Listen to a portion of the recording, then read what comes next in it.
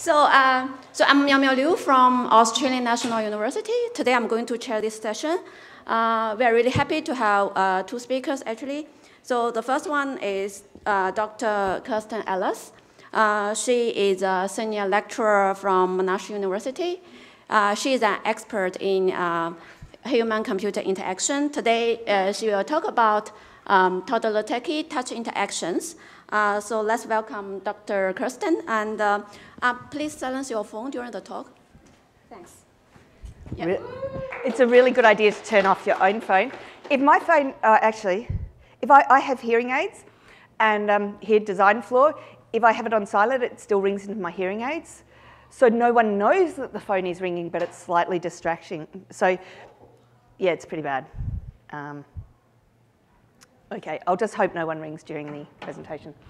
Um, so I'll ask that if people do ask questions at the end, they actually use a roving microphone, because otherwise I won't hear the question. Okay, so today I'm here to, this is such a good setup.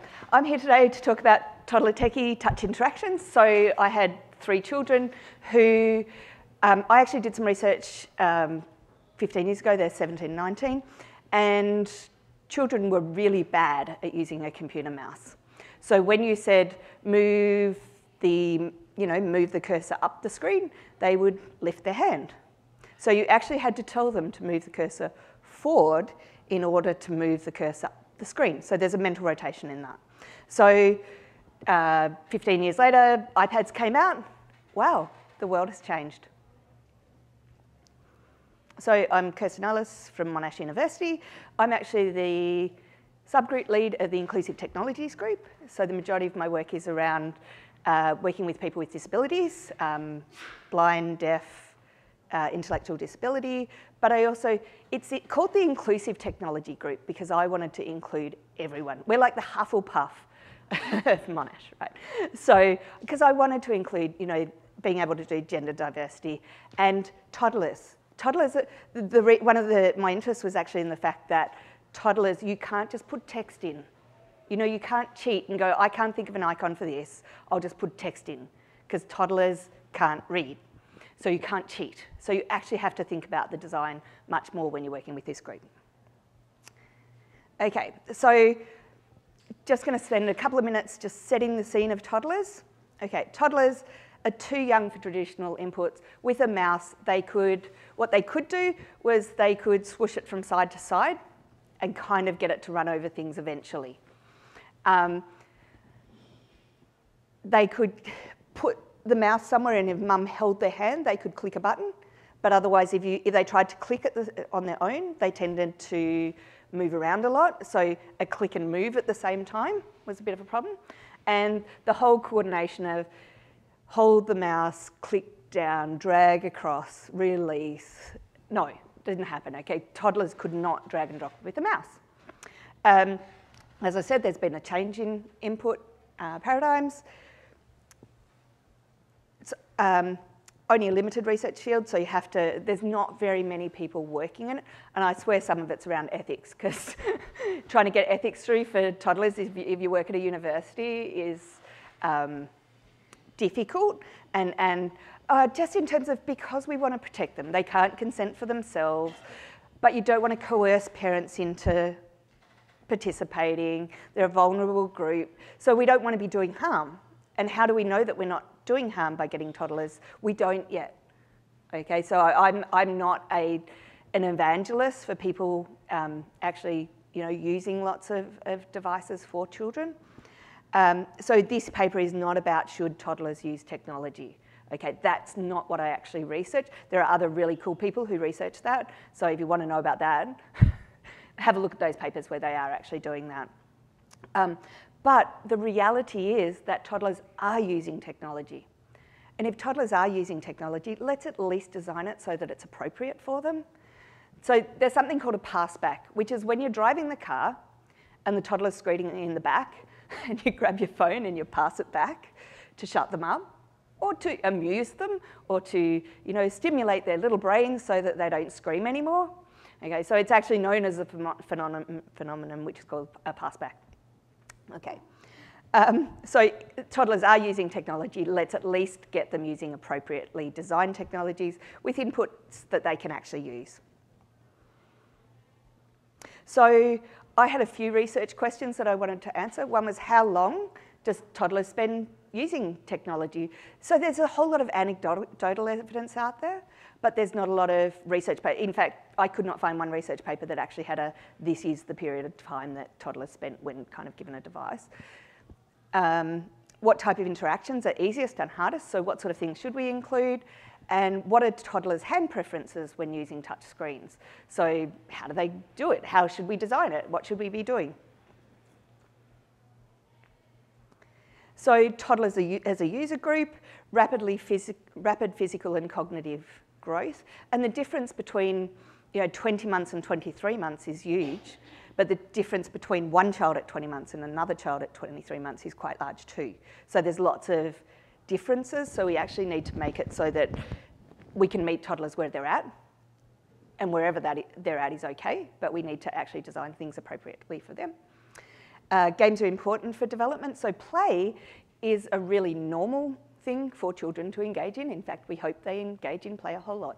But also mimicry is a really, really um, important thing. So for those who sweep the floor, you know, you sweep the floor, your child sweeps the floor beside you. Or if you dig in the garden, your child digs in the garden. And if you wash the dishes, your child wants to wash the dishes. And as soon as they're actually capable of doing it in any sort of competent way, they're not interested anymore. Um, but it, so it's a very normal thing. So if we're all sitting using our iPads or our iPhones, you can expect that toddlers would expect to be mimicking us because they're learning about their world. Uh, there's Vygotsky's theory, for those who like theory, which I'm not going into because I hate it. um, okay, uh, so rapid uptake of technology, duh, I'm sure you've worked that. And I was talking about that native input paradigm. So the great thing about an iPad is if you want to move something from there to there, you move it from there to there. You don't have to move it up while to move it forward or move it forward to move it up. There's no translation required. So it, it's actually a native input paradigm, so there's no translation required. So what I did was I went out to, actually a research assistant went out for me to um, three different childcare centres. We had 42 children participate, 22 male, 20 female. They were 20 to 41 months of age. 30 months was the average age, and it was conducted in Melbourne, Australia for context. So I don't think I need to explain Melbourne too much to this particular audience. So pretty much like the we have, you know, large intake, uh, large uptake of um, phones and touch technologies. I I built something for a Nintendo DS because I went, no one will ever hand over their $500 iPhone to their child. And a year later, everyone was not only handing over a $500 iPhone, they were handing over, you know, more expensive tablets. So as a society, the price of our children toy, children's toys have gone from like 20, 30, 50 dollars to 500 and it's not that unusual for kids to break screens on a pretty regular basis. So as a society, we've actually moved. Procedure, so on site at three different childcare centres. The children got verbal instructions. They got a demonstration um, if they you know, needed it. This was not a children can only do this study. It was really a what can children do? If we give them the opportunity and we explain how they do it, you, know, how to use it, what can they do? So it's not a definitive list of this is exactly what they do. It's when given the opportunity, they can do these things that we tried to explore. So we actually did some things beyond what they were capable of doing to check where that limit was. Um, I used this really funky pair of glasses that has a camera in the middle of the forehead. It just looks awesome. But what it meant was that instead of having a camera kind of directed at the kids, it was a bit more natural. So we could get the, the video recordings without saying, here, you're on display, please give me that cheesy smile. Every time I tried to take a photo of my daughter when she was little, she did this, because that's what Henry the Octopus does. And I really didn't want, I wanted to see what the kids actually did as opposed to what they did when they were, knew that they were, and we weren't, um, being deceptive about it, but it wasn't like really super obvious that you're having your photo taken. Um, and we had, so we had a video, the system collected data, and we had parent questionnaires. So the activities, we had balloon popping, and these were targeted at different types of interactions to see again what they do. So there was balloon popping, you touched to pop all of the balloons, and then you got an animation. Um, peekaboo, you swiped your hand and got a different re reward, and you could have multiple reward, reward animations happening at the same time. So a mermaid would come up, or and they all said pe peekaboo in different voices. The bubble pop was exactly the same as the balloon pop, but instead of actually touching, you swiped. So you didn't have to pick your hand up, you just went over the top. And it also meant if they touched and moved, it would accept that as an interaction. The ball sort was drag and drop, classic, and put the balls in the right coloured boxes. Felt pictures. Uh, you could have as many of these squares, circles and triangles as you wanted. You pulled them to the centre of the screen. You could make them larger or smaller, and you could rotate them around. And the three-part book, so you could swipe. You're familiar with, do you, does this make you nostalgic? You had three parts of a book and you could change it so that you could have the, the um, uh, you know, the fireman wearing a, a stethoscope and dancing shoes. So, and they were gender balanced and you know, so we had a female policeman and a, they were gender balanced and it was like policemen and firemen and so sort of recognisable by uniform occupations. So the results. Um, I had two different protective cases. Fisher-Price has it right. 27 children actually chose the coloured. This says something, the fact that we actually have a, a um, case that has teething rings on it. I mean, that says something about society, doesn't it? That the same age that they're teething, we're giving them technology, you know, quite advanced technology. But they have it right. The kids actually really like the fact that it was a colourful case compared to the just plain black case. Not exclusively, but um, this was really interesting. So the average time for play was 17 minutes. Now this is not, uh, this was conducted within a childcare centre. So it was within the constraints of we only had a certain period of sessions, so some of them would have potentially played longer, except they couldn't because the session ran out, because they had to move to the next activity or whatever. But it does give you a, um, uh, you know, the minimum was five minutes, so even the least engaged child was there for five minutes average of 17 minutes, maximum 53 minutes. That was the outlier. There was only one child who got to do that, and I think they were sort of one of the last children through, so there's no one waiting in queue after them to, to use the activity. But it does show the scope of how long children, young children, can actually engage in our activity.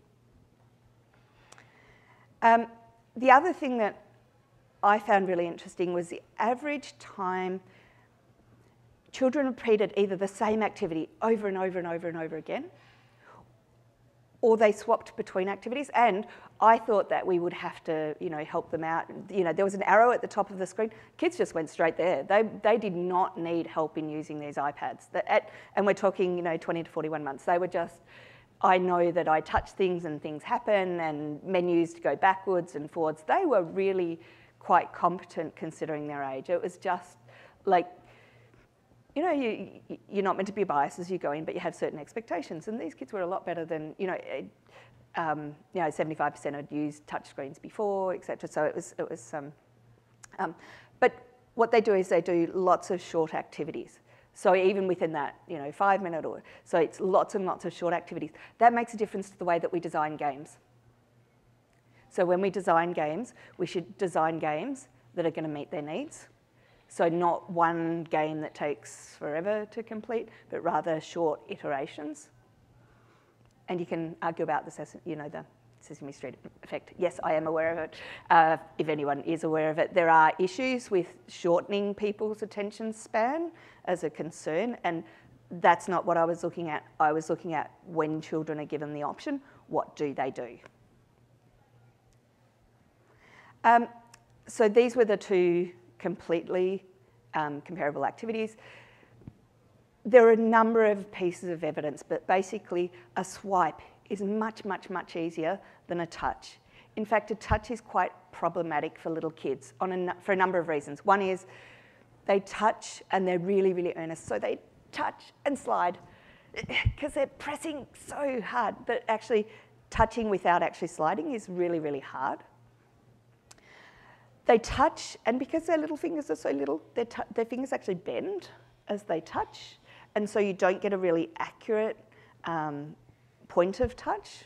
So you, you need to either make the object slightly larger or be a little bit forgiving of where the boundaries of the ob object are. Uh, so there are a number of pieces of evidence in terms of completion. Um, the other thing with the completion was often, although they wanted to touch all of the balloons to get to the animation, in fact, when they started, they didn't even know that they were going to get an animation at the end. They wanted to touch all the balloons because, okay. But what they would do is they'd go and look for you to go,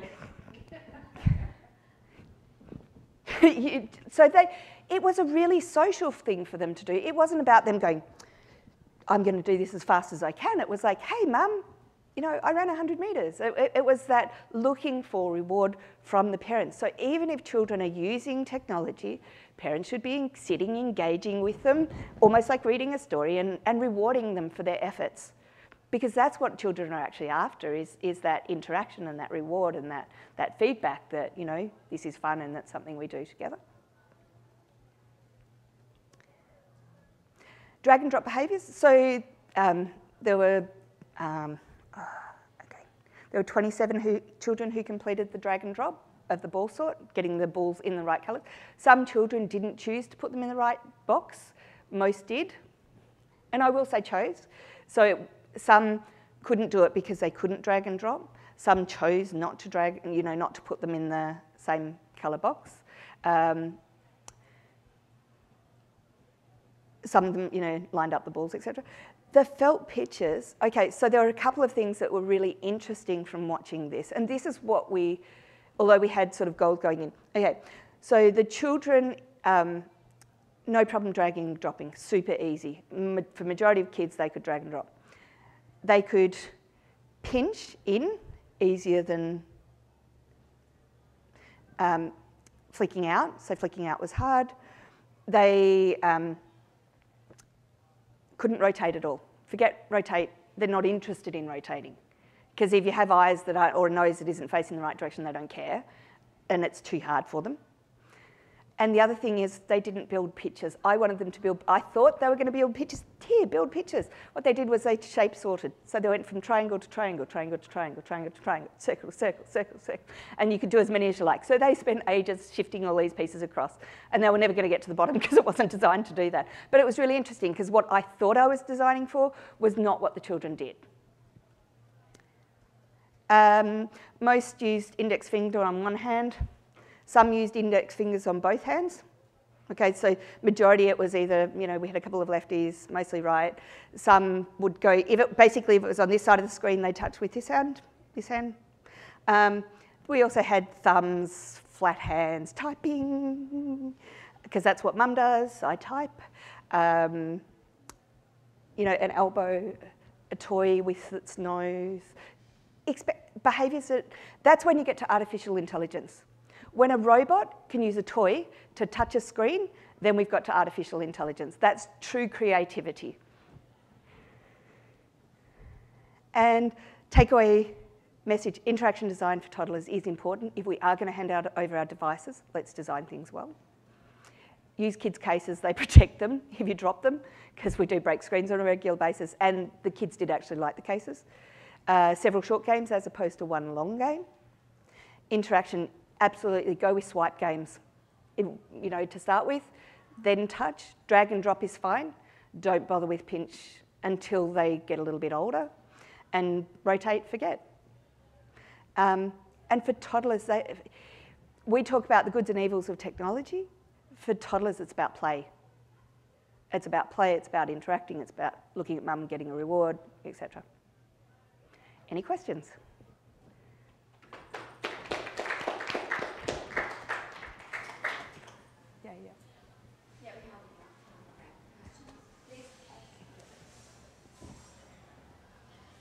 Hi. Um, so my question is, did you find anything that, from working with toddlers, that could be useful for um, designing for adults? Absolutely. So, so um, yes, I would absolutely agree. And, and that's one of the things with working at the extremes is, so stuff like for older people, again, that same, um, if you haven't, once you've learnt, you know, to keep very still as you're touching something, it's fine. But I've actually seen elderly people first using technologies, actually a little bit of grace in their in their touch is really useful. So absolutely, and it's often around yeah the design at the outside that we actually learn about the people in the middle. Hi, um, so I'm actually currently data collecting sort of similar research with parents and kids, and we're filming them and how they use together. Do you think parents know how to support kids in these kind of interactions with games? Huge amount of variability, I would actually say. So, and it's probably based on either what they've been modelled as parents. So you've got the parents who sit their kids on their lap, read a book to them from Googling age, you know, like from really young. And I think it's probably the same with technology. For some people, they either don't know how, you know, to model good behaviour, or they don't, um, yeah, they just don't know what they're meant to be doing, or they're here, they're actually using it as a babysitting device. So I guess that's what I'm saying. We can use them in responsible ways to actually be educative and support relationship building, and then we can also use them as a here, nick off, I don't want to see you, kind of a, a, a get rid of the child, entertain them mm. on their own. So, and sometimes that's important. Like sometimes that's actually necessary as a parent. I had three children under three. I absolutely get that sometimes that's actually useful being able to have a child play on their own, and it's good for them too to be able to learn to play on their own. But I think there's a vast, you know, and, and it's about being thoughtful about the way that we use these yeah. things. Do you think advice can come out of here for parents as to what they can do? Yeah, I'll talk to you about writing a paper on it.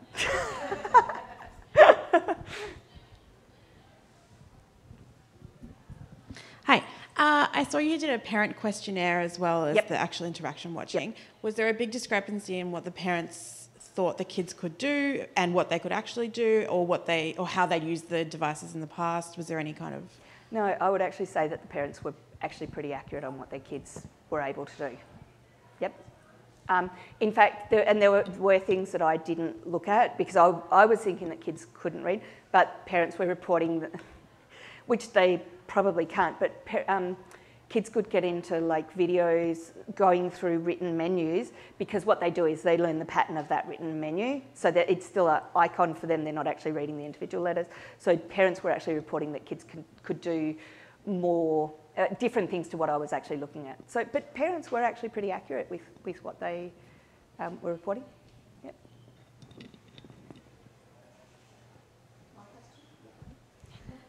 I'll ask one more. Was there any correlation between um, the usage times of these games and their home culture of using technology? No. I mean, and, and that's a, I didn't actually do a, like I didn't do a thing, but I'd actually say no. And same as age, even between the 20 and 4, there was no, so I did look for a correlation between age. There was no difference in age. Um, so I've got, this is 20 minutes worth of results, I've got like 60 pages of, of um, there was no, you know, younger children had less time. There was a small amount of difference in terms of, uh, I think children about 23 months before they could easily drag and drop. Um, but other than that, there wasn't even a difference in age or anything like that. So no, it didn't didn't seem to. It, more unique differences in children. I have a good question. So did you find that but these kids that you were researching already had like a significant amount of experience with the technology. Like these kids that were really young were already using it very often at home. Yeah. Yeah. It was terrifying. Yeah. so 75 these i was looking at you know um, 20 month olds 75% of them had already used and and the first handover was at six months. So my child first used the phone at six months. Mind you those those old activity pads where you turn the button, touch the thing, get a bing, slide a thing, which are good for motor skills. I just think we're all going to have amazing motor skills, you know, fine motor skills, and no ability to hold a pen, like no physical strength in our hands if we're not really careful. In terms of, it's fine, but we just need to keep the balance there. Yep. Okay, good. Thank, thank the speaker. Thanks, Dr. Ellis. Uh, so hello everyone, uh, welcome to this session. I'm uh, Miao Miao Liu, a lecturer from Australian National University. I'm going to chair this session. So we are going to have a speaker like Ms. Um, Namrata Srivastava from University of Melbourne. Uh, her research expertise is in learning analytics. So she is going to talk about using uh, contactless sensors to estimate learning difficulty in digital learning environments. So let's welcome the speaker to give the talk.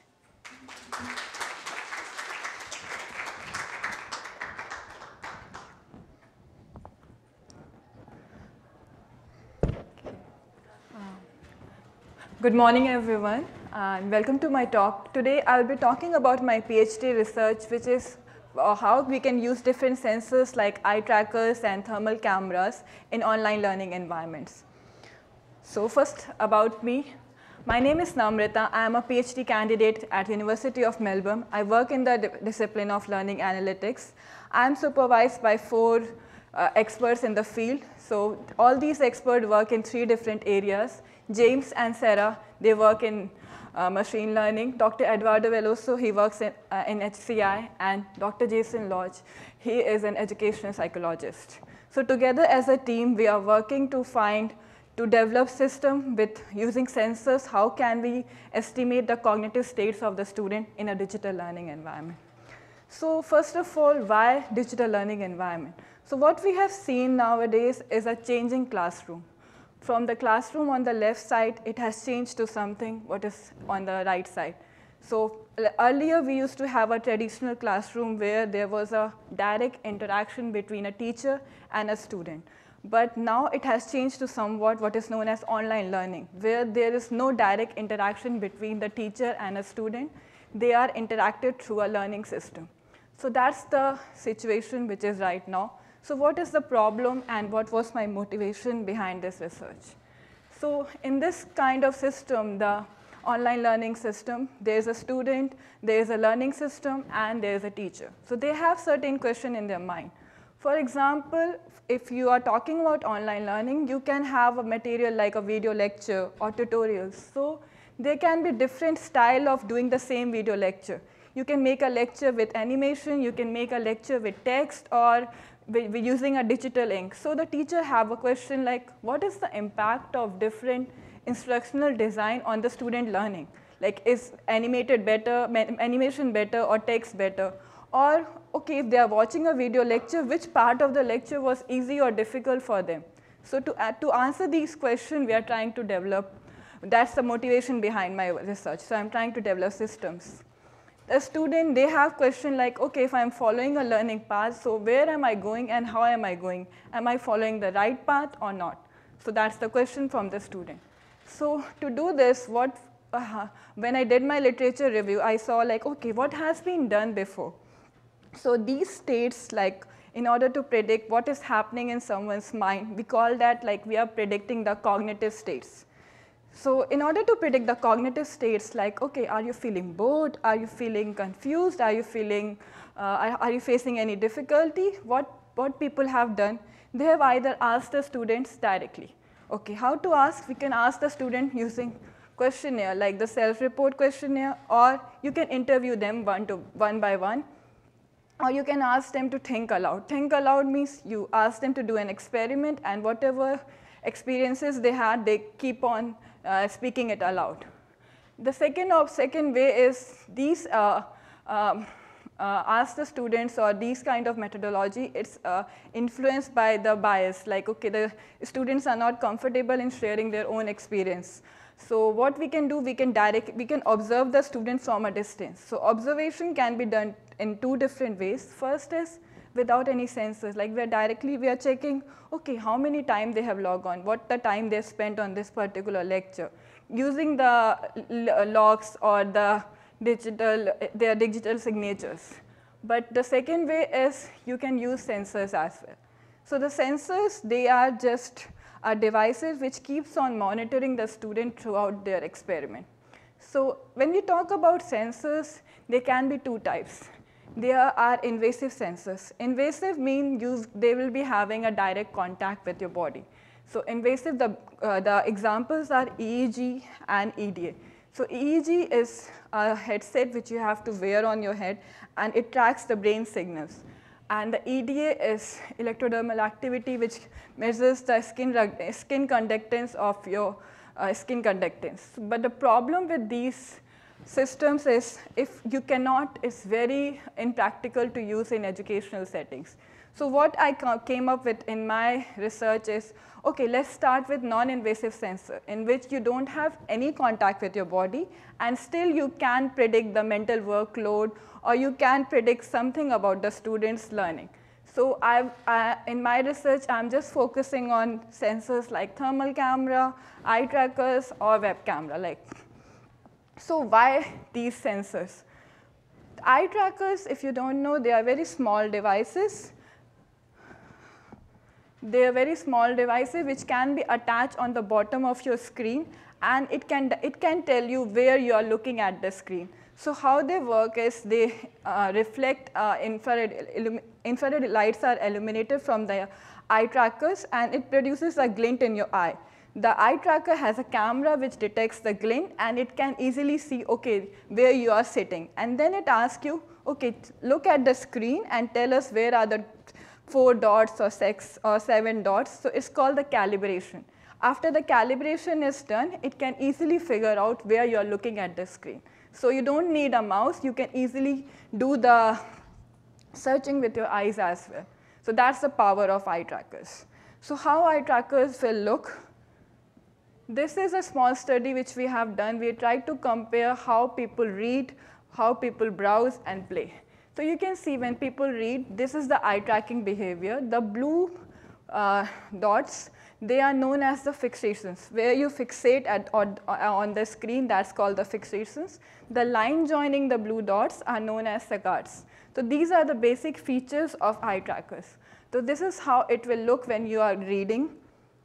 Next, if you are browsing, you don't read the full statement. So that's how you are browsing. You will just check few words and then you will keep on browsing or searching for some word. And when you play, you are concentrated on a single, this is Super Mario, you are concentrated on a single character. So that's how eye tracking can tell us, okay, which particular activity you have done. So we have published a paper in which we found like, okay, you can easily classify the different desktop activities using eye movements only.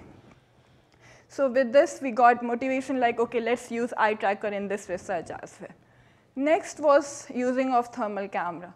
Nowadays, thermal cameras are becoming very popular. It's a non-invasive method to estimate the cognitive load. So, cognit so what happened, a thermal camera is a normal ca camera, but it captures the temperature of, your, of the substance which is kept in front of it. So, uh, what is the hypothesis here is when you do some work which requires a lot of mental effort, then blood flows in your brain and you can see temperature fluctuations on your face. So we capture those temperature fluctuation and we can easily say, okay, the forehead should get little warm and the nose gets cold. So that's the assumption we have with the thermal camera. And there are certain papers which shows like this hypothesis is true in a stress behavior or when you're doing something which requires a lot of cognitive effort. So that's it. So uh, we, we decided, okay, we have an eye tracker, we'll be using a thermal camera. But there was no data set which was publicly available. So I did my own data collection. I created an experiment setup in which I used an eye tracker, a, th a, thermal camera, a normal web camera. So eye tracker recorded where the participants were looking at the screen. A thermal camera recorded their facial temperature. The web camera, it recorded the facial expressions. And what I added, I added a slider as well. That's a DJ player, but I used it as a slider. That was a smart uh, way of using uh, the, devi the devices which were already available in our lab. So the slider, what the slider does is, okay, what we wanted to do here is we, want, we asked students to watch two different video lectures. And while they were watching the lecture, we asked them to self-report the difficulty. Okay, how difficult was the lecture? Keep on rating with the help of a slider just move the slider. If you feel the lecture is very difficult, move it towards the extreme end. If it is not difficult, move it towards the uh, other end. So that's how they were keep on, they were doing the, they were rating the video lectures continuously. So That was the experiment setup. The study design was very simple. We did a briefing, then there was a calibration. We asked them to watch two lectures. Before and after each lecture, there was a pre-test and post-test, and after that, there was a debriefing. So to uh, decide the video lecture, we used two different topics, neuroscience and the binary integers. And the same topic, we presented them into two different ways. Like the neuroscience lecture was presented using text, just like there was no picture, and uh, the same lecture was presented using animation. Similarly, for binary integers, it was presented using text, the normal slides, or with the help of a digital ink. So that were the different variant which we introduced in our study. The interface design, because we were working with so many different sensors, so the problem was syncing all the data together. So I designed a interface in which I can see the real-time data collection process. So all the data was can be viewed simultaneously while it was being collected, like slider, thermal camera, web camera, and eye tracking data. And all this data was recorded and saved. So after the data collection was done, because we were, um, I'm working in the machine learning domain, so we wanted a very big data set. So I targeted 100 participants. So I did 100 participant study. It took me two months to do just the data collection, but it's a really good data set. I have uh, 100 participants watching two video lectures, of which we have two different variants, text and animation. We have the slider data, like what is the perceived difficulty of the lecture according to the participants. We have the survey data. Okay, how was the lecture, which we normally ask students after the lecture was ended. And last, the sensor data, the, their eye movements, their facial expression, and facial temperature. So that's my data set. So let's see what we got from this data set. So the first thing we started, okay, instead of starting with the sensor, let's start with the slider. Slider was nothing, it was just a self-reported value by the participant. So what we found was the post-lecture survey, because what happens is when you, are, when, you, when, you, when you watch a lecture, at the end we ask you, okay, how difficult was the lecture rated in between 0 to 10? And you say, okay, it was 7. But we don't know why 7. Why you, rate, why you didn't rate it like it was very difficult or not difficult, which part you felt difficult. But when we replace the same thing with a slider, a continuous feedback, we can know about the finer details of the lecture. So that was the idea. So we tried to find, okay, can we identify different points of difficulty in the lecture? So when, I, when we compared the two, uh, two signals of the slider, uh, across the two different participants who reported at, at the end of the lecture that they faced difficulty and they didn't face difficulty, we saw both of them had similar pattern. The only changes was in terms of the amplitude of the slider. So, and if we compare it with the lecture's content, we can easily say, okay, yes, it makes sense. It, when the lecture started, they tried to increase the difficulty because there was a formula in the lecture. And when the same formula was explained in the next slide, they decreased the difficulty. The same thing happened with this slide, but it's a very cluttered slide, so they kept on increasing the difficulty till the next slide came, which was very easy for them, the binary addition. So what we found, like with the slider, we can easily tell, okay, this part of the lecture must be difficult for the student. So instead of having just one concrete value like 7 or 8, we were having a range or we can have a continuous input. The second thing which we found from the slider was we can even compare the instructor expectation. So what we did, we asked, we asked as instructor, uh, one of the instructor of the video lecture to do the same experiment. And when he did, we compared it with the student and we, do, we did a sliding window protocol to see where there was a negative correlation between the instructor and the student. So what we found, it was at the beginning of the lecture. This was a neuroscience text lecture. So there was no picture. So when the first time the terms like axon, axon hillock, or myelin shield, these were introduced, students felt difficulty. But instructor, he knew all the terms, so he was not facing any difficulty. The second time it happened when there were two slides presented and the instructor spoke around 251 words. So the instructor was speaking very fast, but the amount of content presented in front of the participant was very less. So that's what we can find with the slider. So the thing is, okay, slider is really nice, then why we need sensor? The problem is this continuous time series of difficulties very informative about design of video lecture. But if I ask you, okay, watch the lecture and do the data collection using slider, it's very cumbersome. So what's my research is, okay, we have a slider. Let's take it as a ground truth or a noisy ground truth. And can we try to find biomarkers like eye movements, thermal camera uh, features, or facial expression feature which can replace the slider. So we have a continuous ground truth with us, and now we are trying to investigate which biomarkers can replace the slider. So we have data with from three different sensors, thermal camera, eye tracker, and web camera. I'm still analyzing my data, so I have some analysis the, from the thermal data here. So thermal data, when you see, uh, the problem with the thermal data set is it's the thermal images of a few of my participants. If I ask you, can you identify where their nose or their forehead is, it's very difficult. It's very difficult to identify the facial landmark in thermal images. So if you can't identify the facial landmark, how can you say what's the nose temperature what's the forehead temperature? So the first challenge for me was, okay, how to identify the landmark.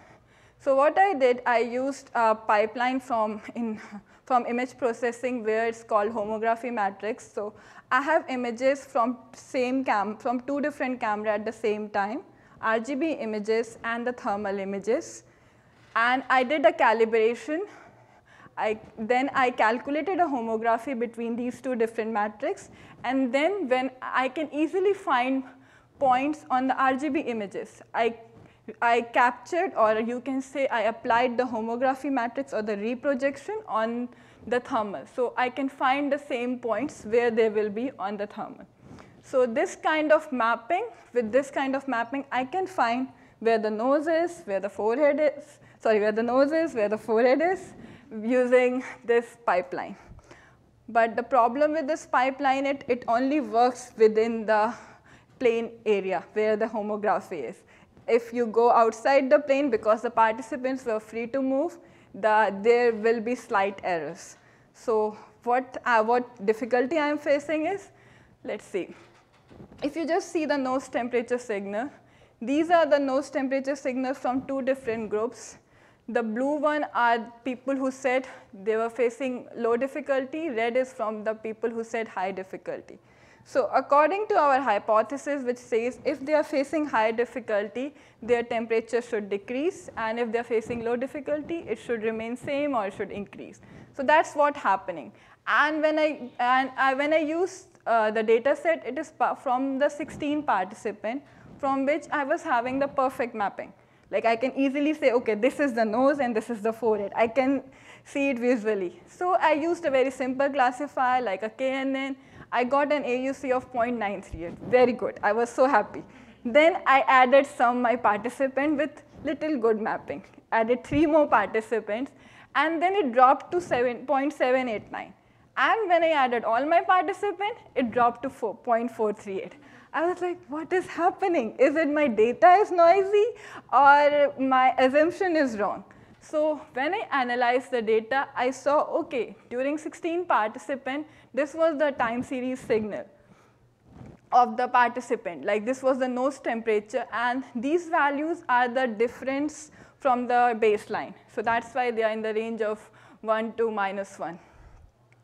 But when I added more signal, I found the problem happened with these participants which were at the baseline, where there was no changes. So the same type of same group was present in both the groups, like same type of participant in the low and in the high. So the classifier, it's very hard for it to distinguish like, okay, they are the low one or they are the high one. So how it works is, it works by extracting features. So when I plotted a PCA of this, I can easily see for 16 participants, it's easy to find the two groups. But when the participants increase to 30, the, all the data become cluttered and it, the number of uh, uh, wrong output increased. So that's the problem which I faced. So I'm analyzing still the eye tracking data. I'm writing a paper as well for CHI, so let's see if I'll be able to solve this problem. So overall, that's the, is like my research is a collaboration between machine learning, human-computer interaction, HCI, and education. And I believe this will be like my PhD or thesis. So to end, I just want to uh, end up with a question like, okay, suppose I'm able to design this perfect system which can estimate the cognitive load based on the sensor data. So what about you? Would you be comfortable in sharing this information or not? Thank you.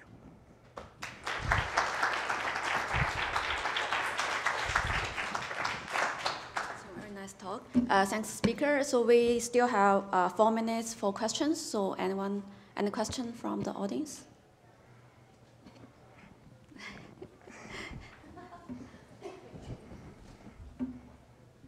Thanks, that's so interesting. Um, I was wondering, you know, you said you built um, the bit where you were collecting all the data. There was, yeah. How can you talk a little bit about how you did that?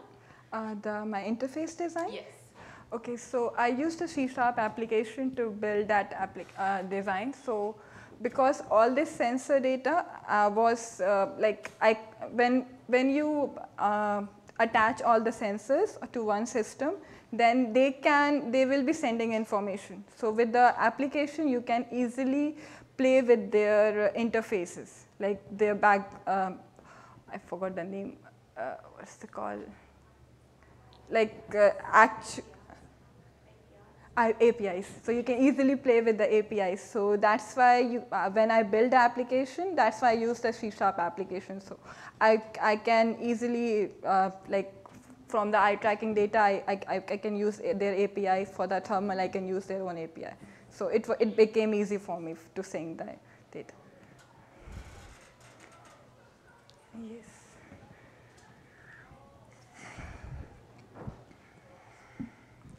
Okay, thank you. This is really excellent work and excellent presentation. Thank you. Um, I have just one question uh, regarding the part when you were collecting the data and asking participants to use the slider. So were they required uh, to use the sliders a certain number of times, or you reminding them, or you use think aloud protocols, or what kind of? Uh, okay, if so you can say something a bit more about that. Yes. And just another question: uh, Will these slides will be uh, be available somewhere, or you can will be able to share them, or to share some paper that is? Yes. So maybe you can go to my profile and you can see my papers. Okay. They are available online. So one of the paper was recently presented at CHI. So it includes the study design, everything. So, okay. Uh, so regarding your question,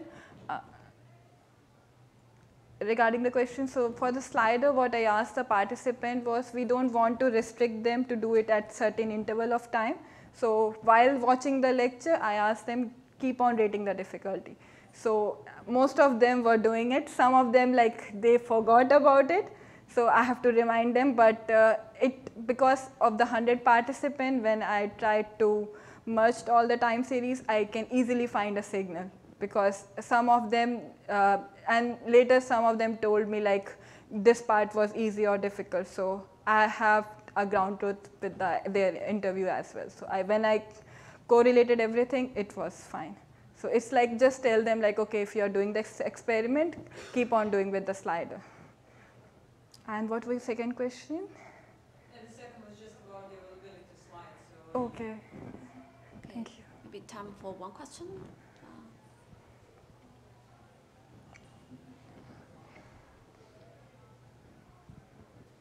Hi. Uh, so can you share a little bit about the data storage, where you store it and locally or send to the cloud, or the, how to design the data, database for your storage? So I'm storing all the data locally.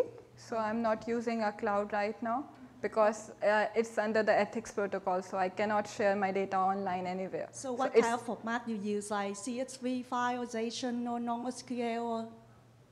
Or? Sorry? So what kind of the format? Yeah, so the type of the format was just CSV files. So uh, like I have, uh, when you, uh, when I, um, the data collection, so for each sensor, like the eye tracking data, thermal camera, and the and uh, facial expression. So I have one CSV file which includes the timestamp of each of them. Like, okay, when was the slider, what was the slider value, what was the eye tracking data. But for the images, I have separate folders which just include the name of the images. So uh, the final file, the sensor data, it's just a synchronization of all these files in form of CSV. But images are separate. So it should be really like the image should be really big data, right? Yeah, it's a really it's so in size it's like 1.5 terabyte. Yeah, so because you, uh, the thermal images, if I just store the thermal images like the uh, which I showed you in the beginning. So the thermal images, when you will see, uh, you cannot, if I store directly this images, I cannot find the nose temperature. I have to store their temperature profile. So I just stored a matrix which was the temperature profile and I regenerated the images. So, okay. it's, so because we need the temperature, we don't need the images. From this images, uh, it's converted into 0 to 255, the grayscale.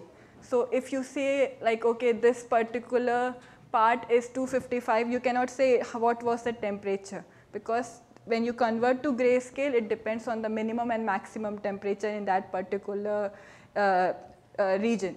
So that's why I stored the thermal images. So that's that because of the thermal images, for each participant, the data was like 14 GB. So, so it, that made the data set very huge. And all of the machine learning model you will run in server or just your computer? I'm running on a server. Yeah, that's my son. It, it can't run on a normal system. Yeah. okay, um, uh, thanks the speaker again. So let's conclude this session. So more questions could. Yeah.